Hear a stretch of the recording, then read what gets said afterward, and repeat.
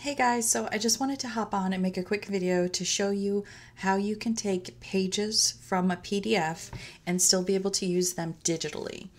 I've heard from a lot of teachers that they're worried they can no longer use these because they're in Google Classroom now and maybe your file isn't compatible with Google Classroom. So I just want to show you um, a couple quick tips. So the first thing you can try to do is go to File, Export, Image, and JPEG. And just try to save that somewhere where you'll be able to find it. And you might run into this. This means you don't have permission to extract images from the file. That's okay, we have a workaround. This is just a security setting that a lot of files have on them to protect clip art and things like that. So if you run into that issue, you can use another tool and if you're on Windows, you have this. I'm not sure what it's called on Mac, if you have a Mac, but anyway, it's called Snipping Tool. And if you can't find this on your computer, you can just go down to like the start bar and type Snipping Tool and it should pop right up. anyway, so what you want to do is open up the file you want and take this snipping tool and you're going to do this.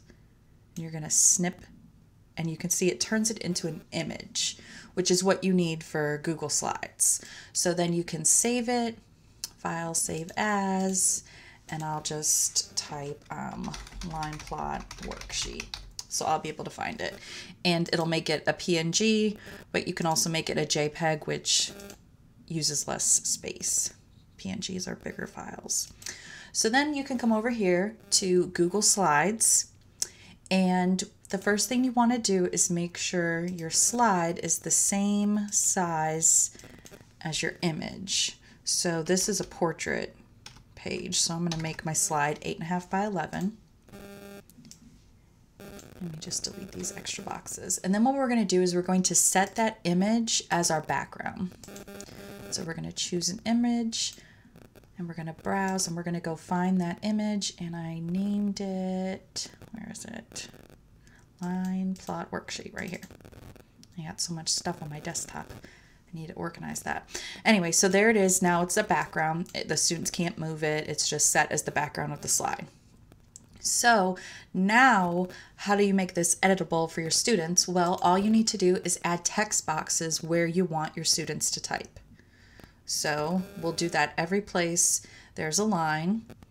And one thing you can do is you can give your boxes a little color so your students can see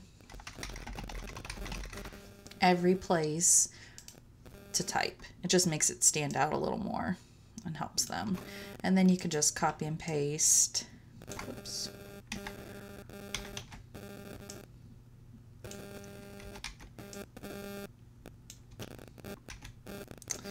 There you have it. You have an editable document.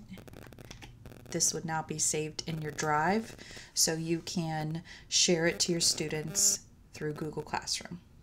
All right, hope this helped.